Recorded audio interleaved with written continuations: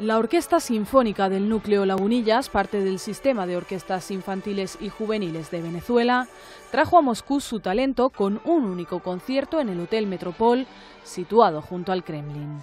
Unos 25 niños y jóvenes de entre 10 y 20 años pertenecientes a ese núcleo del estado de Zulia interpretaron anoche varias piezas clásicas y venezolanas dentro de una gira que incluyó antes a Ámsterdam.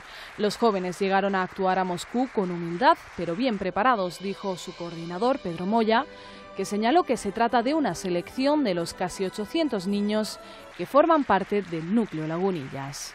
Imagínense lo que significa para estos, para estos muchachos poder eh, tocar en Moscú, la cuna de, de tantos grandes músicos, gente que nosotros vemos en los discos y en las fotos.